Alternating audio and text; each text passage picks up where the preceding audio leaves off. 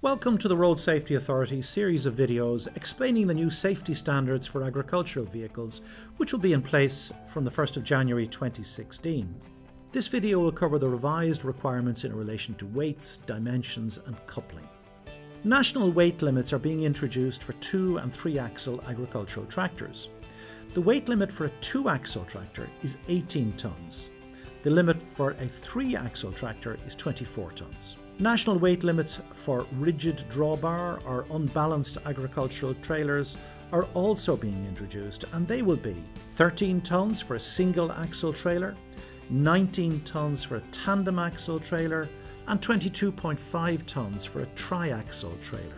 Higher limits of up to 24 tonnes for rigid, unbalanced drawbar tandem axle agricultural trailers and 34 tonnes for triaxle agricultural trailers that meet certain additional requirements are also being introduced. These requirements are they must be plated, they must be fitted with a flexible suspension system, they must be fitted with flotation tyres suitable for operation at 10 tonnes per axle in the case of a tandem axle trailer, or at either 9 or 10 tonnes per axle in the case of a triaxle trailer and they must be fitted with a steered or steering axles if they have an axle spacing of 1.8 metres or greater.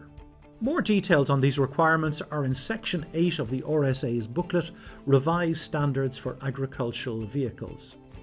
Combinations of agricultural tractors and trailers, where either of them is unplated, will have their maximum towable mass capped at three times the tractor's unladen weight.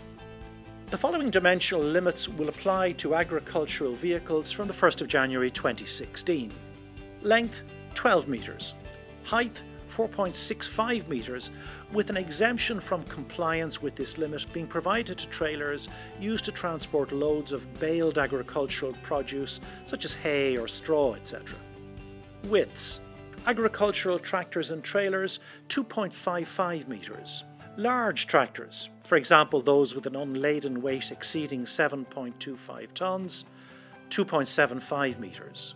Tractors with flotation tyres or dual wheel systems, 3.5 metres. Fully mounted equipment and interchangeable towed equipment, 3 metres. Self propelled agricultural machinery, 3.5 metres. Self-propelled agricultural machinery may exceed 3.5 metres in width, provided that when travelling on public roads it is preceded by an escort vehicle using dipped headlights and carrying working flashing amber beacons and a caution wide load following sign. The vehicle under escort must also carry flashing amber beacons, one of which must be visible to the rear and display a wide load sign to the rear. Remember, the following items don't count when measuring the overall width of an agricultural trailer.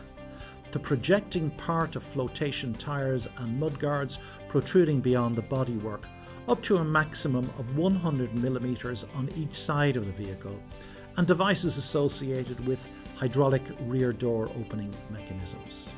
Requirements are also being introduced for the maximum vertical load or the weight that can be put on an agricultural tractor's coupling by a trailer's drawbar. This vertical load must not be more than the lower of either the tractor or trailer manufacturer's specifications, 3 tonnes or 4 tonnes in the case of a ball and spoon coupling which has been approved and plated for this load.